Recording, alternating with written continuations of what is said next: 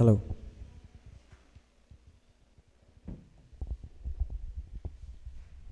Praise the Lord. Amen. I could not imagine that this that this day will come.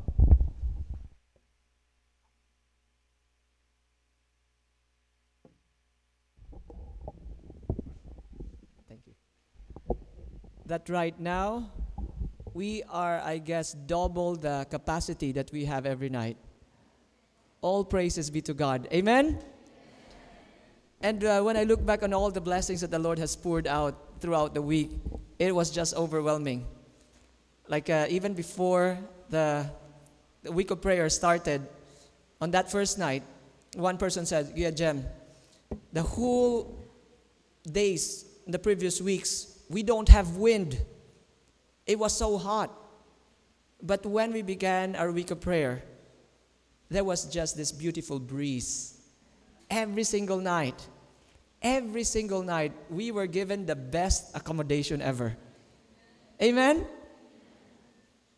And remember that one night, I guess that was Tuesday, when we see streaks of rain while we were about to end.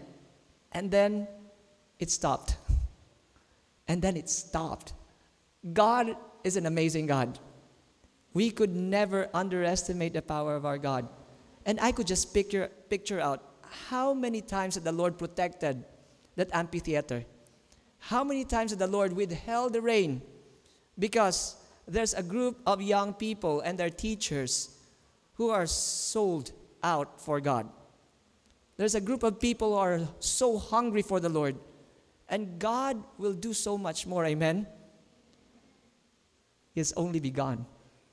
And when I look back on all of this, I could not believe, I could not believe that all of this happened. It is all because of those people who are craving to have revival. And now revival is starting. And I don't want it to end. I can't believe that I'm going home tomorrow morning. And I don't want to go home. And I praise God that there is heaven. Amen? That there will be no parting ways. And I'm thinking, wow. And just imagine the music, how the Lord has, has directed everything. The music each night after, after the rendition, I'm just, I'm just actually tempted to, to just kneel down and say the closing prayer. Because the music itself is already a wonderful message. And thinking about that, I don't want I don't want it to end. I'm even thinking that we will have a Thanksgiving night tonight in the amphitheater. Would you like to do that? Is it going to be songs and testimonies? Okay. It depends if Sir Castle agrees. I guess it's sold out for this. And this is why, I guess, my dear friends, that all the praises, the glory, and the honor should be given back to the Lord. This is not about the organizer. This is not about the College of Dentistry. And this is not even about the speaker. This is all about God doing everything in our nothingness because without Him we can do nothing. With that being said, I'd like to invite our brothers and sisters once again to kneel down in prayer.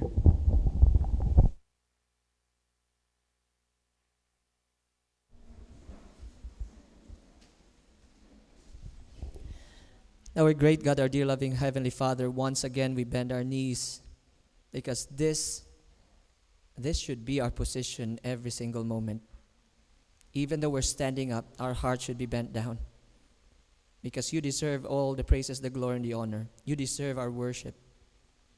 You deserve everything, dear Father, all the good things. And Lord, we praise you and we thank you that even though we don't deserve your goodness, and still, dear Father, you are giving it to us. Dear Father, you are an awesome God. You are an amazing Father. And Lord, once again, we pray that you please pour upon us a double portion of your Holy Spirit. But Lord, we pray that you please open the lid of our hearts that we may receive you. And dear God, I pray that we may be reminded that this is the week of prayer and help us to continually pray, to unceasingly pray, even as the, the service goes on. Help us, Lord, to lift each other up. Help us, Lord, to know that there are souls that's waiting to be gathered in to your kingdom. And Lord, we pray, I pray that you please hide me once again behind the shadow of your cross, that I may not be seen nor be heard. Lord, I pray that you please move me out of the way, that I will not be seen or be heard, but Jesus and Jesus alone will be seen, will be heard, will be lifted up and exalted. Lord, we pray that you please teach us how to lift Jesus up higher than we have lifted him up before. Dear Father, we know that there would be a battle going on right now, even at this moment. May the words, dear God, that would come from the throne of grace will not escape our hearts. Even the humidity, dear Lord, may not be a hindrance for us to, to focus our attention, all of our being to you. And Lord, we pray that you please grab our attention, dear Father. I pray, Lord, that you please rivet our sight only to the cross and to the cross alone. Thank you so much, Lord, because we know that we are praying to an all powerful, almighty, awesome God. And this, dear Father, we pray in the loving name of your Son, Jesus. All your children say, Amen.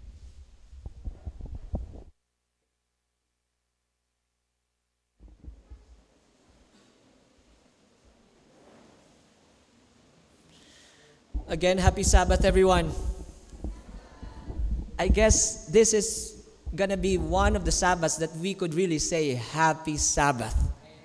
After last night, it, it was just like a wonderful gift. After last night, it was just a special, special Sabbath. And we know that God is just starting.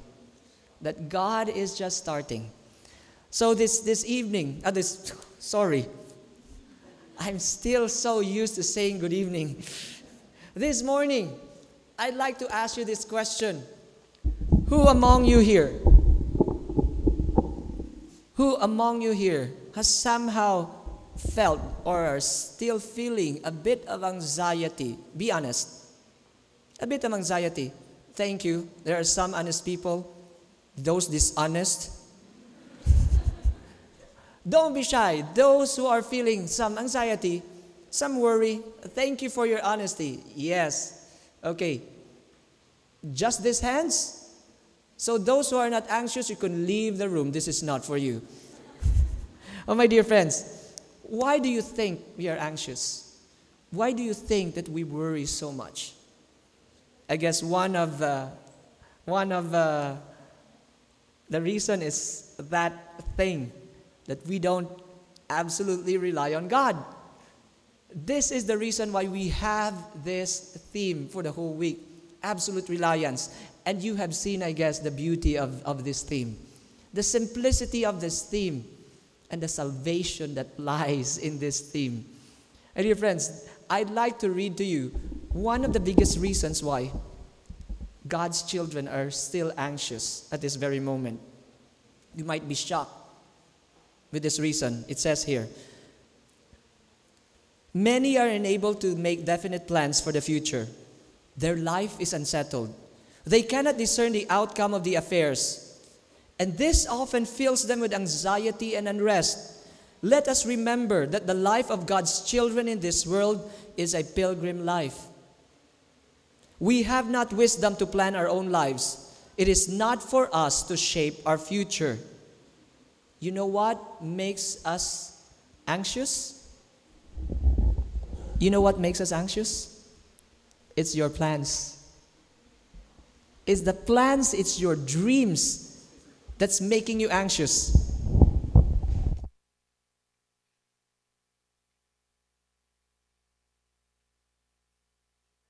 Stand will not stop the message this morning.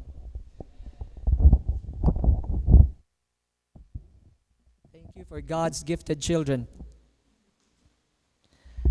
It is our plans, it is our dreams, it is our ambitions that gives us unrest, especially when you look at your dreams and you look at the situation of the world right now and then the capacity, your capacity for, to fulfill those dreams. What happens is, what's going to happen to me? What's going to happen to my future? And that was what I was worrying before. I was thinking, oh Lord, how am I going to fulfill my timetable? At the age of 25, I should have established a business. At the age of 30, I should have married. Oh, married. Ambitious guy. At the age of 40, I should have settled down and have a house. My dear friends, all those things, all these plans, all these plans that are not surrendered to the Lord are the things that gives us so much anxiety. Do you believe so? Huh? And remember, on Tuesday we talked about that those dreams that are not God's dreams for you, man, they would they would disappoint you. You would not like the view when you reach them. And listen, who is our greatest example once again? Who? Jesus. Say it again. Jesus, Jesus is our greatest example. Do you agree on that? So, are you willing to follow what Jesus has said for us to do? Oh, some of you are not so convinced. Yes, and yes. But listen, if Jesus has said something for us, it means to say that it is for our own benefit. It is for your own safety. It is for your own anxiety, worry free life. Listen, this is actually the quotes that I have read a while ago. It's found in His Daily Living, page 18, paragraph 2, HDL. Christ in his life on earth made no plans for himself. Wow. Christ on his life on earth made what? No plans for himself. He made no plans for himself. But it doesn't mean that he does not have any plans at all. But get this, he made no plans for himself. Listen, the next line. He accepted God's plan for him. Wow. He made no plans for himself, but he just accepted God's plan for him. And day by day, the Father unfolded his plans to him. Did you get this? Day by day, the Father unfolded his plans to him. Did you read in Mark that when Jesus was trying to heal the sick of the whole village, was that in Simon Peter's house? The whole night he was trying to, he, he healed all those sick. And then the next morning, a great while before the day, too early in the morning, where did Jesus go? To a solitary place and then prayed. You know, this is the reason why that Jesus has to come to his Father every single moment. He could not live apart from God's presence because he has to listen to his father. He has to know the plans that his father has for him. Did you get this? That's why his walk with his father is so close. He didn't have any plans of his own. He has to know, what would you have me do, Father? And the Father, if we need the Father the way Jesus needed the Father, the Lord will unfold his plans to us daily. Do you want this? Do you want this? And you know what happens if you live a life like this? Why do you have to worry for the future? When the ones planning your future is your Heavenly Father. Isn't this awesome? Huh? Okay, it says here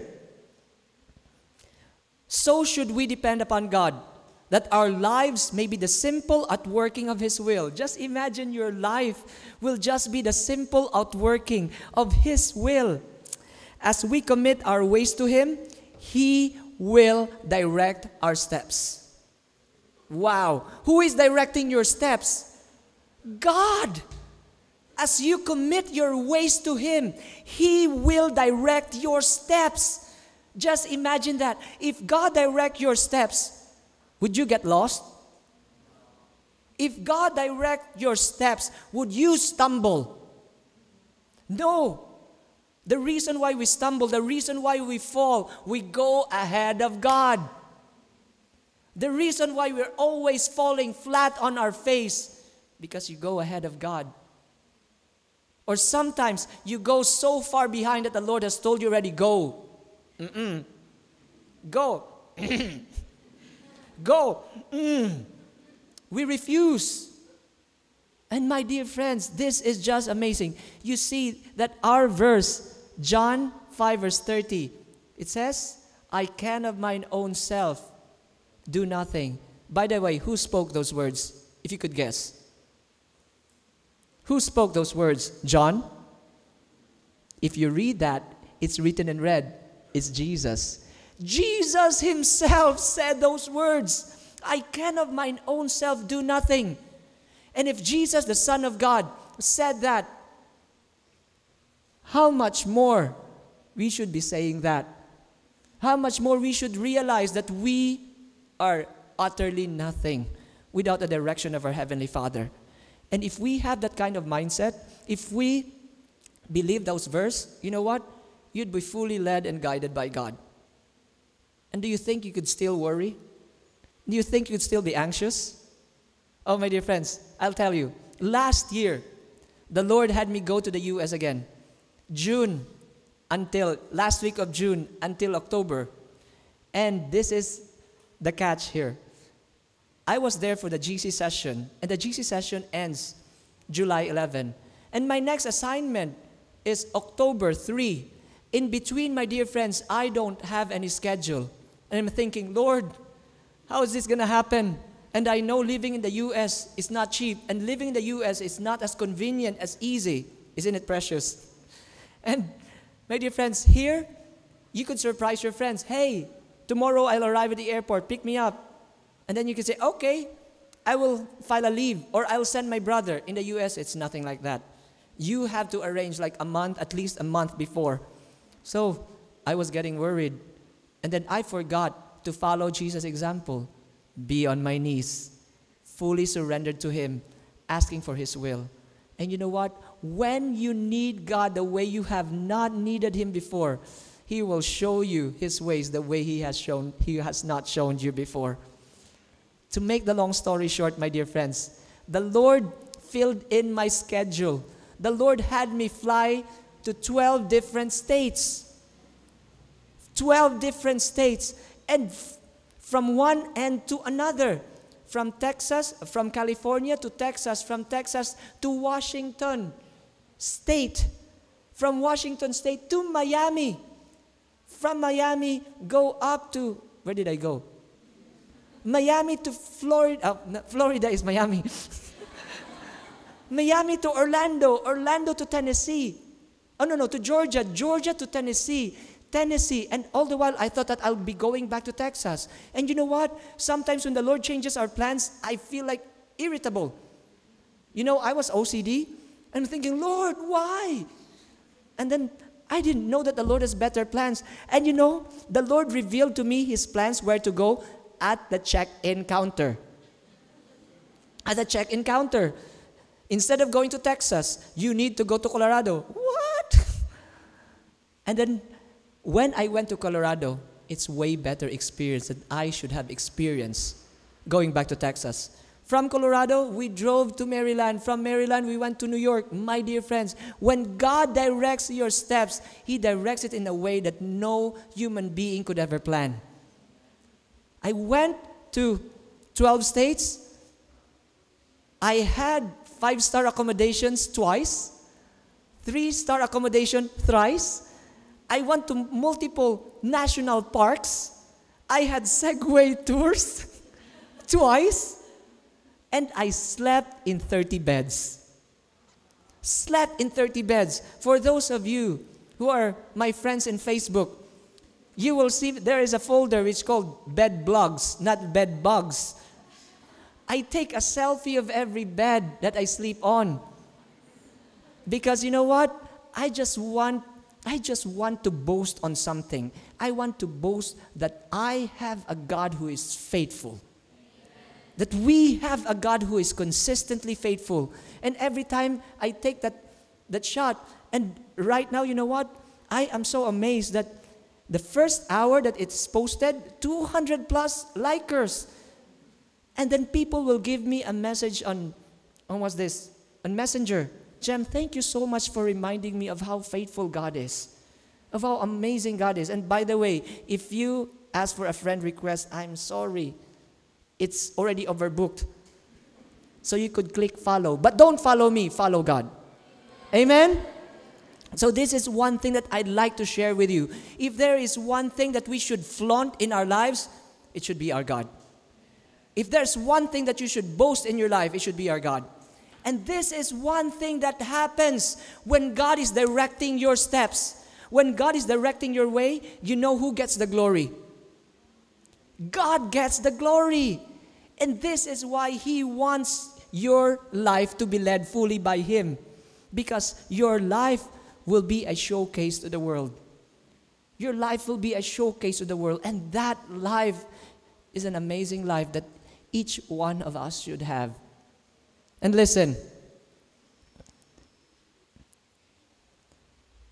I like this verse. I like this quote. I'll have to read it again. I read it last time. Man can accomplish what? Parang hindi pa rin kayo convinced. Man can accomplish what? Nothing. Nothing without God. Nothing without God. And the part man is required to sustain is immeasurably small. And this is one amazing thing that when we realize that our part is immeasurably small, we begin to realize that we could rely our immeasurably big God. Our immeasurably huge God. And my dear friends, it says here, listen, too many in planning for a brilliant future make an utter failure. Wow. Too many in planning for a what? Brilliant future make an utter failure. This is not just a rumor, my dear friends. This is coming from the spirit of prophecy. The same spirit that has inspired the Bible is the same spirit who inspired the spirit of prophecy. Do you believe that?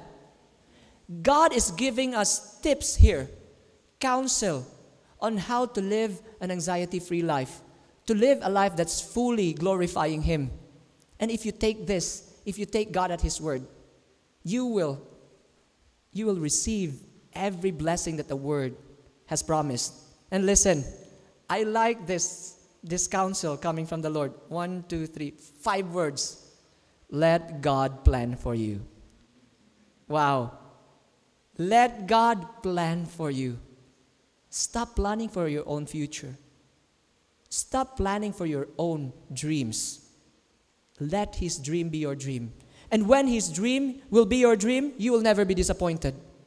You will be surprised every single waking hour is gonna be an adventure. It's gonna be an adventure. I promise you this because these are not my words. Because He promised so, and He could not lie. And every word that He's spoken are words of truth.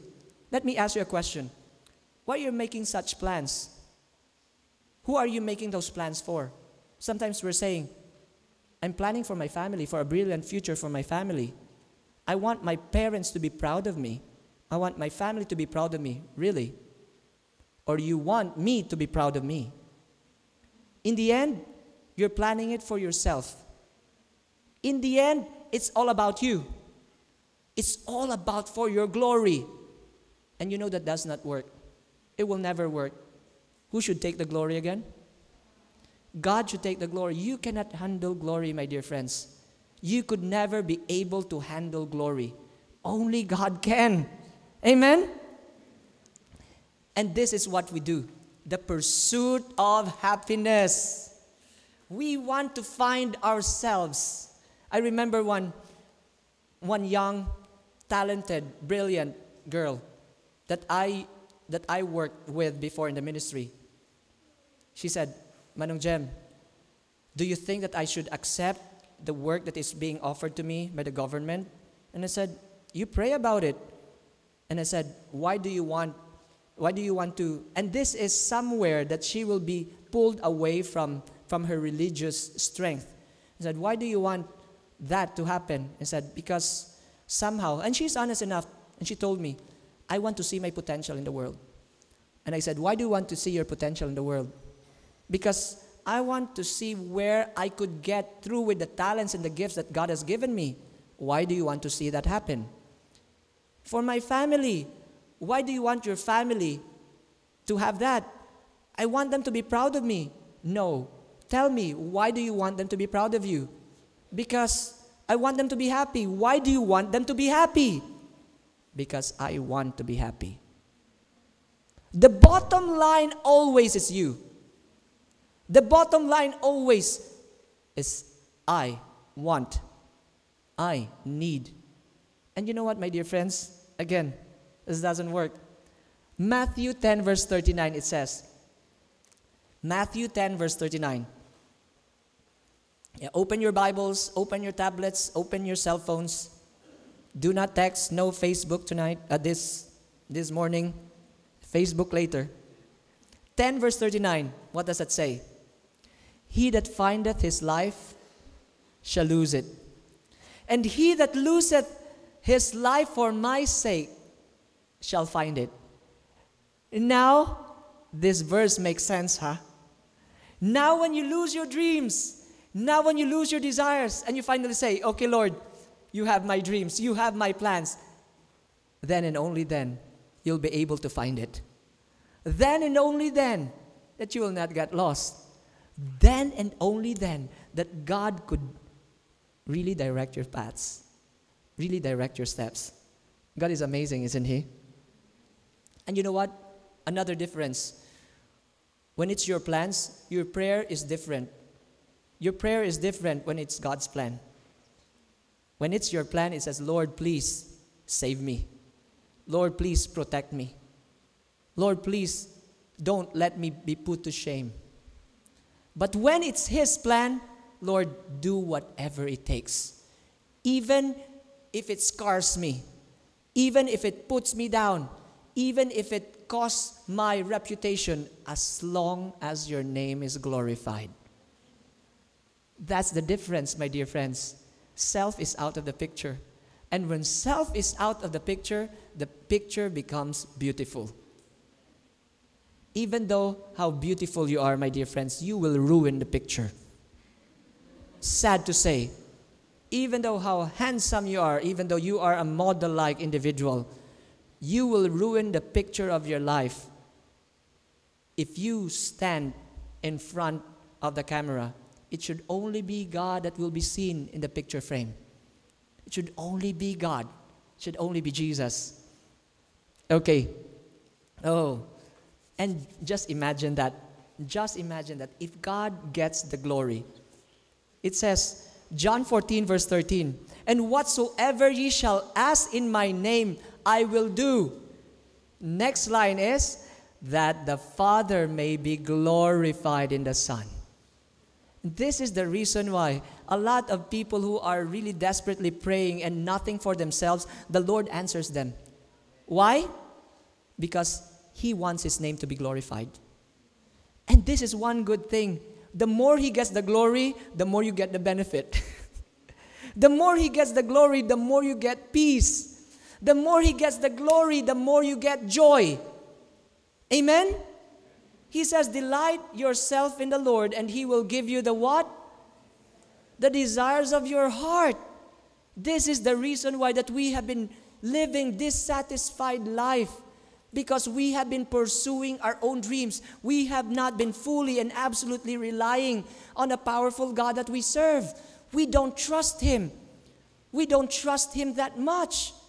My dear friends, what a sad life what a sad life that we live, that God has been wanting to direct, to guide your steps, and then you refuse. Uh uh-uh, uh I know where to go. Just imagine if you are that child that the father wants to lead, and you think you know where you're going, could the father lead you? Huh? No. And I remember this beautiful verse Matthew 8, verse 3, and he said, Verily I say unto you, except ye be converted and become as what? As little children, you could not enter the kingdom of heaven. Now it makes sense, my dear friends. Because if we act like little children, little children doesn't know where they're going. Little, meaning little, little. I'm little, but more little than me. Just imagine when little kids, when they don't know how to walk, they, they hang on to their, to their parents. What happens is, when their parents let go, what do the children do? Cry. They will fall and they will cry. That's a newborn. they will hang on and they will cry. But the moment those little kids learn how to walk, where do they go? They walk away from the parents. The favorite place that they go is on the street where the jeepney is passing by. Isn't it? We always run into danger. The moment we know, we think we know we're going, we leave God's presence. The moment we think we know where, go, where we're going, we run into danger. And this is why the, this is the verse that says, if we be converted and become like little children, we cannot enter the kingdom of God because we will not be led. Only those who follow the Lamb wherever the Lamb goeth will be saved. Only those who doesn't know the way, who acknowledge in themselves, I don't know where to go, Lord, unless you guide me, unless you lead me. And remember, Solomon's Solomon's greatest success, highest peak, where was that again? I read to you a few a few days ago. Did I read to you that? No? I'll ask you this. Where is Solomon's highest peak in his reign? Some people say that it's in the time that he built the temple. It's not even called God's temple, it was called Solomon's temple. And some people say that when he received wisdom, but you know what? Those were not the peak of his glory. Listen, Solomon was never so rich or so wise or so truly great as when he confessed to the Lord, I am but a child. I don't know how to go out or to come in. Does it make sense now? God could only direct those who does not know the way. And if you think you know the way, you will not follow directions. No one loves a backseat driver. And you know what? The backseat driver, which is God, should transfer into the front seat and take the whole wheel. And what you need to do? Lay, nap, while God is driving you. This is one beautiful thing. That's why we need to die to self. Okay. Oh, let me proceed. The reason why we don't trust Him, because we often forget how big our God is. We often forget the size of our God. And this is what sin does to us. Sin pops up self and reduces the size of God. We think we know better. We think we're smarter than God. We think that more reliable than God. That's why I'd like to share this with you. I'm excited to share this. I'm not like a science buff. That's why I didn't take medical course. First of all, I'm afraid of blood. Second of all, my brain is not in the capacity to handle science. But this one presentation but that was given by a guy named Louie Giglio is entitled How Big is Our God really blew my mind. Okay, let me act smart right now. In the universe, the measurement, when you measure the distance from Earth to the sun, yards, kilometers, miles would not work. There'd be a lot of zeros. It's like unlimited zeros. It's like un- unlimited rice. Unlimited zeros. So, my dear friends, it is now measured by what? Light years. Diba? Light years. And one light year, one light year, what, what is the speed of light? In one second, light could travel, hmm, 186,000 miles. I know that because I have a copy. 186,000 miles per second. And that's not even it. Light year is the distance that light travels in one year. The distance that light travels in one year, and that is how they measure distances from one place to another. And you know what? The nearest, the nearest galaxy in our what is our galaxy again? Milky Way, not the chocolate, the galaxy. And they measured the distance from our galaxy to the nearest star in the Whirlpool galaxy, not the washing machine. Whirlpool galaxy, which has 300 billion stars. Our Milky Way has 100 to 200 billion stars. You know how far it is? You know how many light years away? Can you guess? Huh? 365 light years away. It's like one year of travel with that kind of speed. Sorry, brother, that's too low. It is 31 million light years away. 31 million light years away. If you travel in the speed of light, you will arrive there 31 million years. Just imagine that. It's mind blowing. Okay. And out of this, what's this? And out of this billion stars in our galaxy, there's, there's this one star, our Earth. And you know how big is the Earth? No, no, no, Earth, Sun, I mean. You know how big is the Earth compared to the Sun? Who among you here plays golf? None. That's why I'm thinking, who among you here knows how to play ping pong? Okay, there's a lot of ping pongers here. ping pong. I guess ping pong is also the same, almost the same size as the golf. So, if the earth is like a ping pong ball, you know how big the sun is? It's like 15 feet in diameter. How big is 15 feet? I'm 7 feet and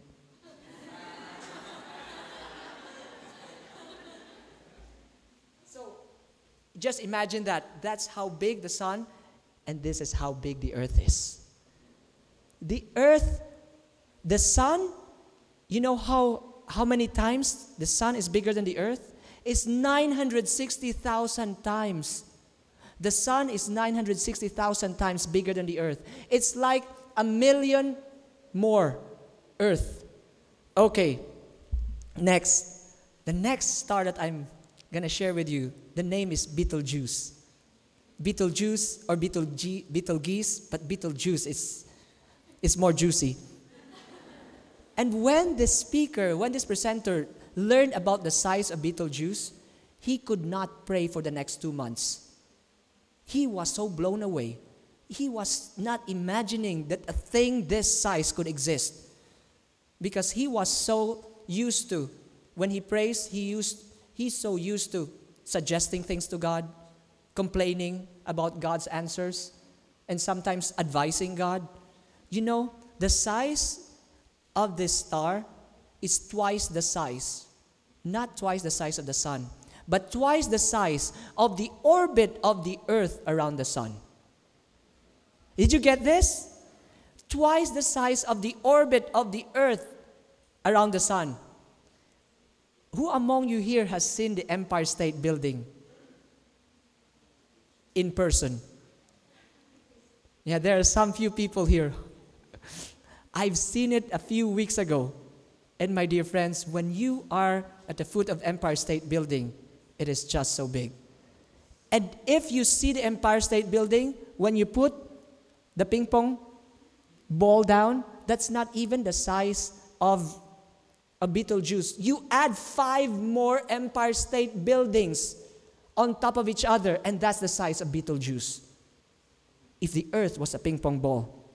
The next star is called. Oh, by the way, Betelgeuse, that's 262 trillion times bigger than the earth. 262 trillion times. I know you're having nosebleed right now with those numbers. 262 trillion times bigger than the earth. The next star is called Mu Cephei. Musifi, if you have seen the Golden Gate Bridge, Precious have seen the Golden Gate Bridge. You have seen the Golden Gate Bridge. If you look at the Golden Gate Bridge and it is so overwhelming, you add another Golden Gate Bridge and you put the ping pong ball at the end. That's how big Mu Cephei is. Mu Cephei is 2.7 quadrillion times bigger than the earth. Quadrillion times bigger than the earth. We are saying those beautiful words quadrillion, trillion, but let me give you a measurement in time. One million seconds ago, you know how long ago was that? That is 12 days ago. One million seconds ago, that is 12 days ago. One billion seconds ago, guess how many days ago? Huh? It is in the 1970s. 1970s, that was 1 billion seconds ago. Oh, if you're thinking now, wow, 1 billion seconds ago, 1970s. What is 1 trillion seconds ago? 1800s? 1800s, you know what? Mm-mm. It's 29,700 BC. That is 1 trillion seconds ago. 1 quadrillion seconds ago. Nose your, hold your nose. Huh? During the creation. By the way, brother, this 20, 29,700 BC, that's way, way, way past the creation already. One quadrillion seconds ago is 30 million 800,000 BC. 30 million, that is one quadrillion seconds ago. And we're talking about quadrillion, trillion times bigger than the earth. And we are just talking of singular stars here. Next is Canis Majoris. Canis Majoris, a very cool name. If the earth was a golf ball or a ping pong ball, you go to Mount Everest, which is six miles above sea level, and you put the little ping pong ball at the foot of Mount Everest and look up. That is how big Canis Majoris is. Canis Majoris is seven quadrillion times bigger than the earth. Seven quadrillion times bigger than the earth. Why am I saying this? Because the God, because the God who made these stars, how did he made it again? How? He what?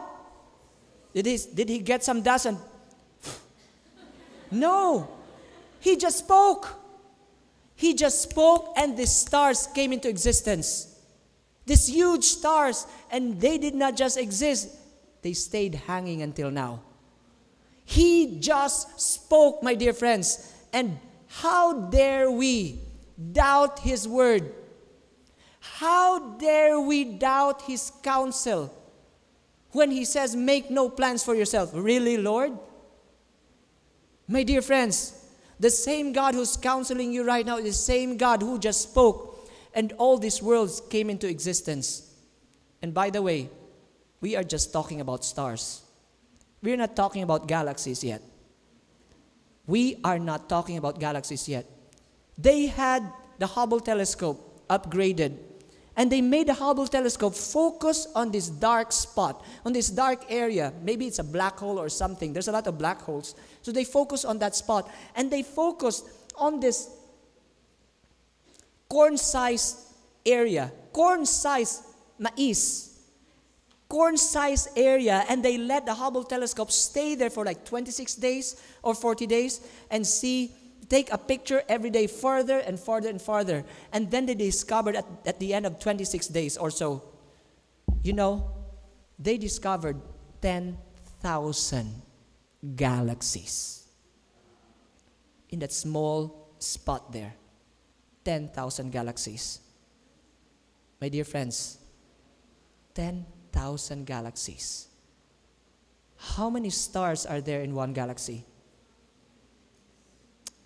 100 million, 200 mil, not million, billion. And we doubt the word of God. We doubt when he says, Thou shalt not. When he doubt, we doubt when he says, Remember. My dear friends, how dare we doubting His word, doubting His promises. When He says He will supply all your needs, why do you question? Why do we question? And in the last presentation of Louie Giglio, he made the parade of celestials. He made all the planets pass through. The, the tiniest is Mars, and then came the earth, and then the biggest, the sun, and then as the stars appear, these little things becomes even more small. And then at the last scene, there's Canis Majoris, there's Mu Cephei, and there's other stars. And you could see from the biggest to the smallest. And he says, if you come up to the stage and bring a Sharpie, bring a little pentel pen, and put a dot on the stage, if you put a dot there, that will not even represent, you know what? The earth? No, the sun. That will not even represent the sun. My dear God, wow. And how dare we underestimate the Word of God? How dare we not give Him our all? How dare we not absolutely rely on Him? He could be trusted, my dear friends. He's all powerful, He's almighty, and He's huge. He's huge. The words that created those stars are still the words that keeps them hanging out there. If you are in doubt, every moment you are in doubt of the Lord's promises, look up. Remember the stars. Remember the stars. Remember the galaxy. And you will be reminded that you serve an awesome God. That you serve an all powerful God. And this is another mind blowing thing because while I was reading, I when I present this in one of the trips I had in, in the US, while going out of the house, there's one verse that jumped to me I said, Oh, wow. If you have your Bibles with you, open it in Luke 12, verse 7. Luke 12, verse 7. What is the color of that verse? Red. Who spoke those verses? Jesus. Okay. Wow. I'm, I'm so excited right now to share this with you. Luke 12, verse 7, it says, but even the very hairs of your head are all numbered. What does that mean? You know what does that mean? The Lord counts your falling hair. It sounds funny, but He does. If He knows the number of your hair on your head, He knows every hair that falls. When you brush your hair, oh, there goes five hairs again. When the wind blows, when somebody grabs your, mm, 15 hairs. When you do this, when you see your crush, two. My dear friends, look at this in that perspective. God is doing an inventory of your hair every single moment. And if He takes so much care in that little detail, how much more are the biggest details of your life? how much more are the plans that He has for you? And you don't trust Him. And you hesitate to give Him your plans, to give Him your desire, to give Him your dreams.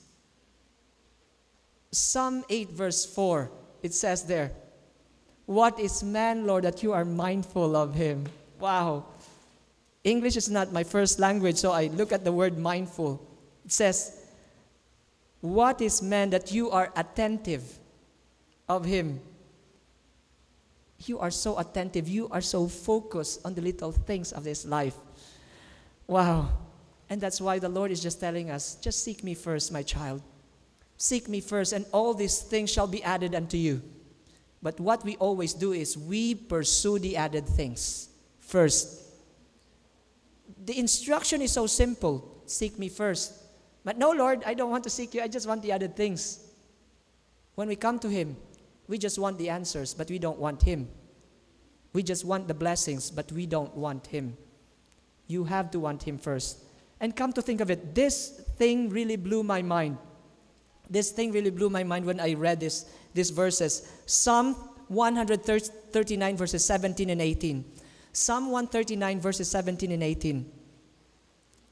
If you are asked to describe someone, how long will you be able to describe that someone? Your best friend. Will it take the, the whole day to describe your best friend? Huh? No? No? If you are given a whole sheet of paper, could you fill it up? Yes. Two sheets of paper, could you fill it up? Yes. Some of them, no. Those are not your best friends. Because if it's your best friend, you could talk a lot, don't you? But a whole book, could that take up the, the best friend? Mm, some of us are doubting. Mm, maybe three pages, that's good. mm. Isn't it? But come to think of it, read this, my dear friends. How precious are thy thoughts unto me, O God!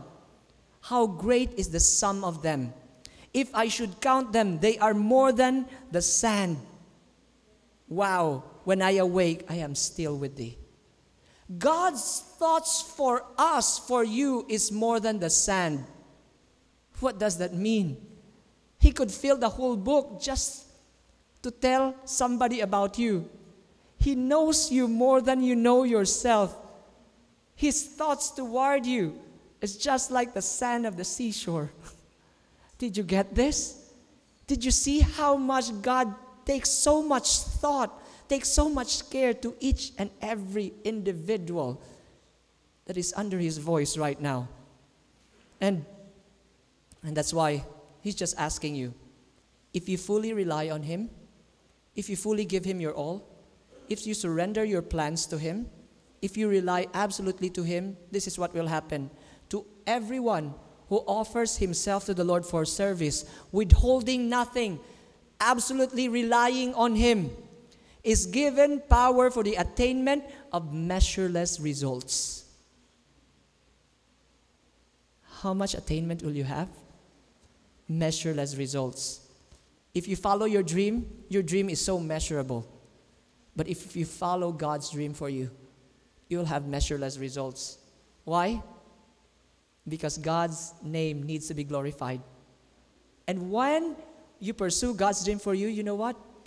God says, He is well pleased when we make the very highest demands upon Him, that we may glorify His name. They may expect large things if they have faith in His promises. Amen? And you know what? While I was so, while I was living a very kind of selfish life, I was not satisfied when I looked at the, the life of Moses. I became rebellious. I, I have a confession to make. I became rebellious with God when I saw the life of Moses. I was thinking, wow, Lord, he, has, he was given all those tasks, the heaviest tasks a man could ever hold. And yet you did not let him go to the promised land. After reading that, I closed and I had a hatred towards God. I had a hatred towards God. You know why? Because I did not finish the story. I did not finish the story. And I'm thinking, why, Lord? Just a little sin. Just a little sin that Moses did. And you did not let him through the promised land. And while I was reading, the Lord, the Lord said here, hmm, The very day there came to Moses the command, Get thee up unto Mount Nebo, and behold the land Canaan, which I gave unto the children of Israel for a possession, and die in the mount whither thou goest up, and be gathered up unto thy people. Moses will be killed. No, will die. And he will see Canaan. It's like taunting. Ang sarap-sarap nito. This is delicious, but you can eat it. When I read that, my dear friends, my heart broke. Why, Lord? You're so unfair. So I did not finish the story. I did not finish the story. And then when you read, when you read through the spirit of prophecy, in the eyes of Moses, the whole panoramic scene was opened up.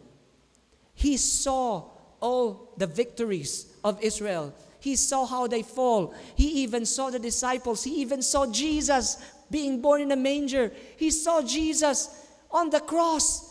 And he even saw the Son of God, Jesus, coming down from heaven. Moses saw that panoramic view. Moses saw that panoramic view. And he just stood there. He did not complain. He learned his lessons. And you know what's more painful? Listen. Often had Moses left the camp of Israel in obedience to the divine summons to commune with God, but he was now to depart on a new mysterious errand. He must go forth to resign his life into the hands of his Creator. Moses knew that he was to die alone. No earthly friend would be permitted to minister to him in his last hours. He was to die alone. The man that God has ordained this this precious work, he has to die alone. He even walked with Aaron when Aaron was about to die. And just imagine that when Aaron when Aaron died, that really broke my heart because Aaron was the closest ally of Moses. And now he feels alone. And now he's walking into his own grave alone. Alone. He was not beyond temptation. And there was a mystery and awfulness about the scene before him, for which his heart sank. He was in full vigor of health with all his powers and active exercise. It would be acceptable if you are dying. But he was in full vigor of health, and yet he could not cross Canaan. He sees it. He was in full vigor. Every aspect of his life was active, and yet he was just made to see Canaan, and he was not able to cross.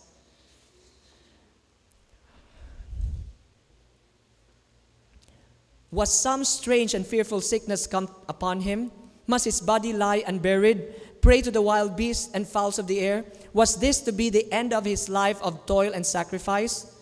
But the severest trial was his separation from the people of his care and love, the people with whom his interest and his life had been identified for 40 years. His heart was filled with anxiety for their future and oppressed with forebodings of evil as he remembered their constant tendency to depart from God. My dear friends, this is still his burden. The people who caused his demise are the people who still in his heart. How will they survive? This heart of Moses is not his. This is now replaced by the heart of Jesus, my dear friends. Amen? This is now the heart of Jesus that is being placed in the heart of Moses. This is not a human heart right now feeling this. Never had his faith been more severely tried, but he had learned to trust in God, and he calmly submitted to the decree and infinite love and wisdom. And there, he gave his life for the Lord.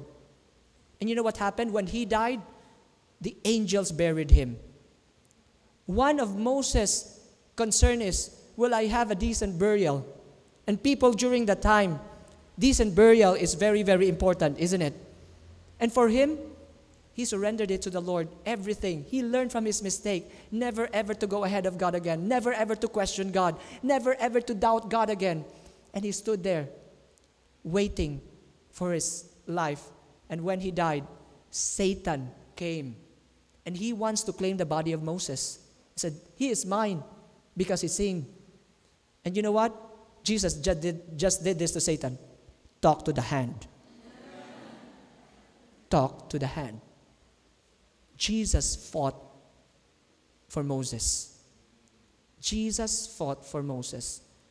And get this imagine this. Now Moses rose back to life. And when he opened his eyes, it was not the earthly Canaan it was the heavenly Canaan. It was the heavenly Canaan. It was heaven. He was standing in the presence of God. My dear friends, you see, God's plans are way better than your plans. If you only submit to His will. When Moses was about to die, that was a different Moses. That was a different Moses. He learned his lessons. Whatever it is, Lord, now you lead whatever it is. Now you take hold of my life. I don't know, dear Father, but you know. I trust you. And he got what God wanted to give him. I would give up anything, even the most beautiful earthly Canaan, for that heavenly Canaan. Amen? You see, my dear friends, are you still afraid to give your plans to the Lord? Are you still afraid to surrender your plans to Him? to surrender your dreams. Your dreams are boring dreams. God's dreams are amazing dreams for you. Do not ever doubt it. If you are still doubting, look up. You might not see the stars right now, but they're there. Remember the galaxies. Remember the God who made them. Remember the God who created them. The same God who spoke is the same God who wants to promise you right now let me plan for your life. Let me do it my way. Before I close, I'd like to share this with you. When I read this statement, I was so excited to share this.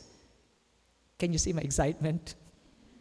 Remember, when the Israelites, listen, even stop fanning yourself, your thoughts might go away.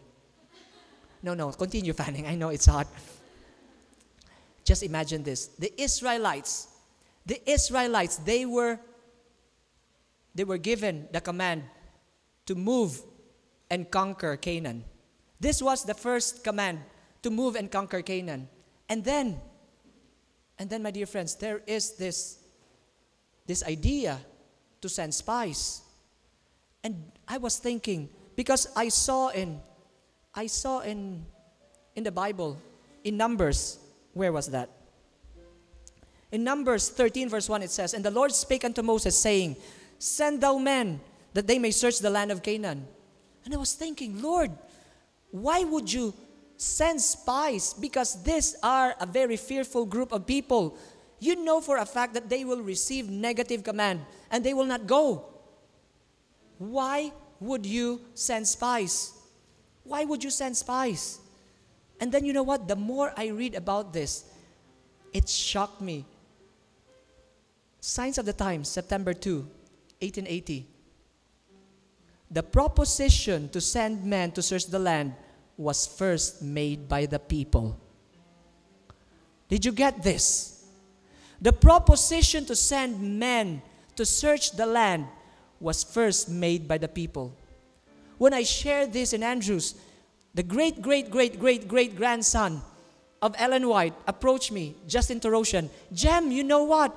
It is also stated here in the Bible, and he opened to me. Yes, there is that move of the people to really send spies. So the Lord allowed it because their minds are already set. They have already made their plans. They have already made their plans, and they were not willing to wait upon God. Listen, the proposition to send men to search the land was first made by the people. But as it pleased Moses, he presented the matter before the Lord and obtained his consent for them to go. The result was disaster and destruction. Had they waited for the Lord to say, Go forward and follow the divine leader, they would have seen the majesty and glory of God as verily as they saw it 40 years afterwards. If they only waited, if they only waited for God's command to say, go forward, and not formulate their own plans, the victory that they have seen 40 years afterwards could have been experienced on that day. My dear friends, moving ahead of God is such a dangerous move. Absolute reliance on Him is the one and only perfect move that you could make in your life. That is the safest, that is the truest, that is the most absolutely, amazingly perfect and true choice that you could make in your life. I'd like to end this by saying, by reading this. The Lord permits men to have their own way, to teach them that the way He marks out is the only safe path for them to follow. The only way that He marks out is the only safe path for them to follow. My dear friends, are you still doubting? Are you still doubting the plan that God has for you? Are you still doubting the size of your God? Come to think of it, let me remind you once again. Don't look at them. Focus on the message. Even the very hairs of your head are numbered. He knows about your falling hair. He takes so much care. He takes so much care on the littlest details of your life. How much more are the major details of your life? how much more is your salvation? I'd like to extend this invitation. I have not given this invitation before. And so I will ask the congregation to bow their heads, to prayerfully bow their heads, and pray right now. I'd like to extend this invitation to anyone who wants to accept Christ in the waters of baptism. For those who have not yet decided, for those who have not yet decided, my dear friends, God is calling you. God has an amazing plan for you. And if you want to submit to that plan right now, I ask, God is asking you to please stand up for Him. Yes, the Lord is calling you. It is you, my dear friend. Praise the Lord. Praise God. As our eyes are continually closed, the invitation is still open to His Son, to His daughter that He has been calling from the very beginning. His heart is breaking to see you make your own decision that will lose, that you will lose your salvation. Right now, He wants to secure you in His loving arms. He's asking you right now, stand up for Him.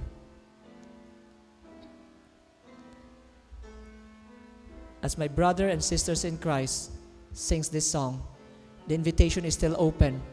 Whoever is compelled to respond to God's call, stand up. Praise the Lord, sister. Praise God.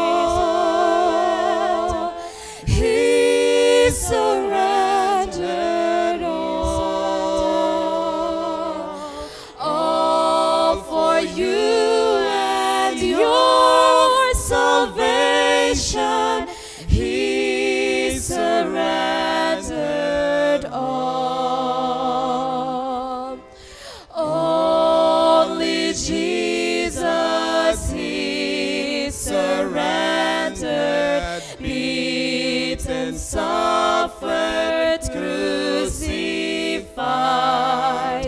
He was holy, pure, and sinless. 'Twas for our life that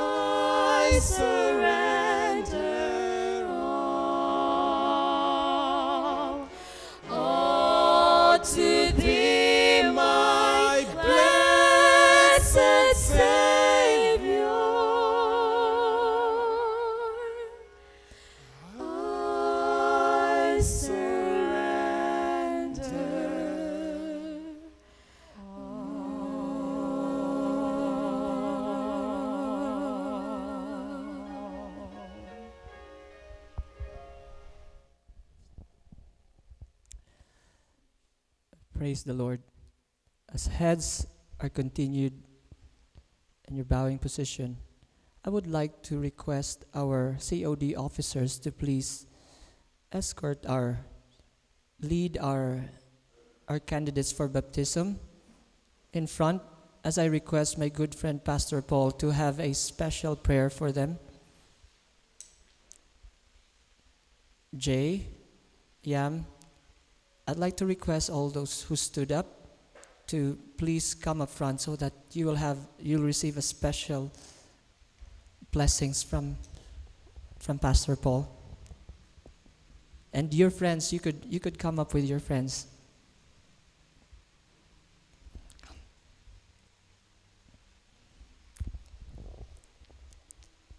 Your friends could, could come with you.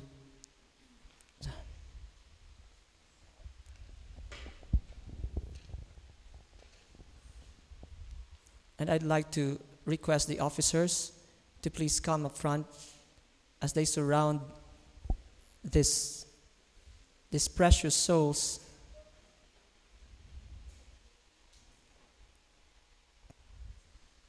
I'll give the time for Pastor Paul.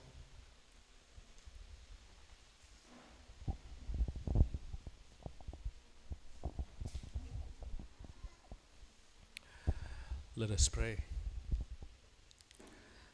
Our Father and our God, we thank you for the transforming power of the gospel. We thank you for what Jesus has done for every one of us. And this morning it's not an exception, oh Father.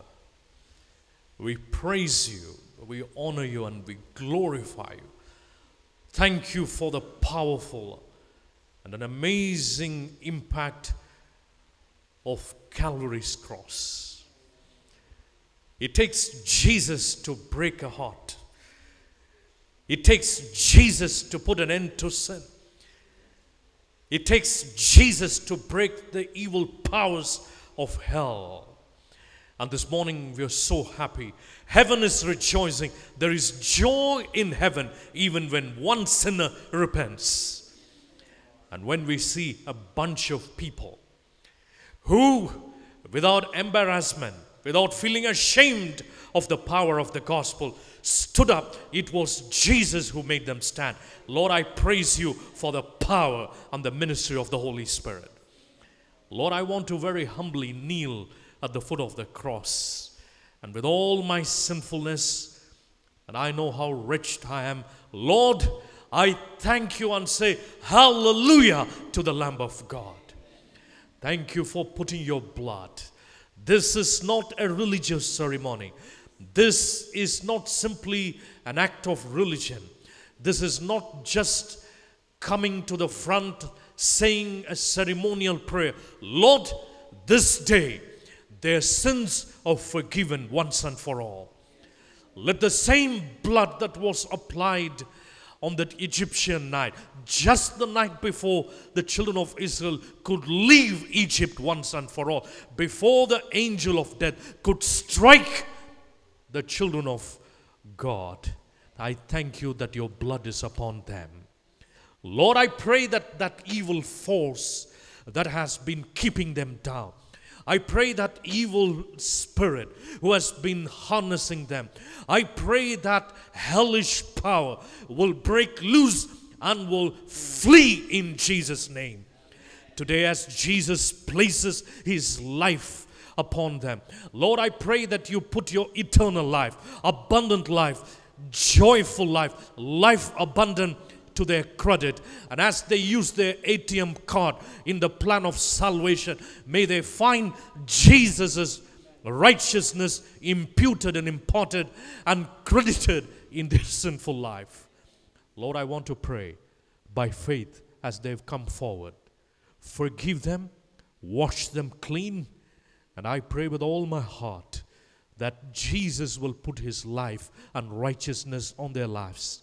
That every time God looks at them, he will look not at their sinfulness, but at Christ's righteousness. And that's absolute reliance. I want to pray for the rest of them who, for some reason, are sitting down.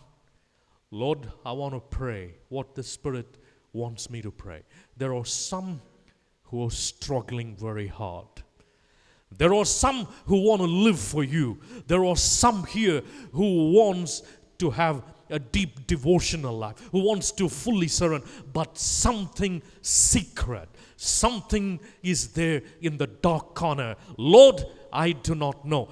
It is time for them not to give their lives 80 or 90%, but to absolutely surrender their life to God. And as I say this prayer, oh Father, I know that I am powerless, but I know the one who I'm talking to. He is powerful. He is almighty. His eyes are a divine laser.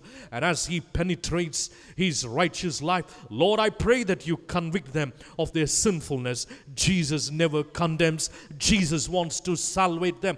Lord, right now, as we beg and plead for the salvation of these young people, if there is someone who has still not surrendered his or her heart uh, completely, I pray that God will help them to yield their lives. Let them not be embarrassed. Let them come with a hundred percent transparent nakedness about their spiritual life. Lord, we've sinned. We are dirty. We are messed up. But yet, there is someone called Jesus who is powerful and he can change their life in a split second. He can cleanse them once and for all. He can write their names in the Lamb's book of life. Tonight, I want to pray for this bunch of people. Let them sleep like babies tonight because they've given their lives to the Lord. They have nothing to worry. And I want to pray for the rest of the young people. They have nothing to be ashamed, embarrassed about their past life. It doesn't matter how deep and how worse they've gone away from God. It takes a moment of repentance. And as the Spirit of God invites them back to the cross, Thank you for the assurance of sal- salvation. Lord, defeat every unbelief. Lord, chase away every harassing spirit of bringing the past and let them walk with the royal blood stained flag holding high under Emmanuel's banner. Let them jump into the pool of Emmanuel's blood. Wash us clean. Thank you for hearing our prayers. Thank you for the assurance of eternal life. Thank you for absolute reliance. In Jesus' name, as I humbly say, all of God's saints who have been washed by his blood say, Amen. Amen. Praise the Lord. Again, I'd like to second what Pastor Paul just said. Heaven is rejoicing.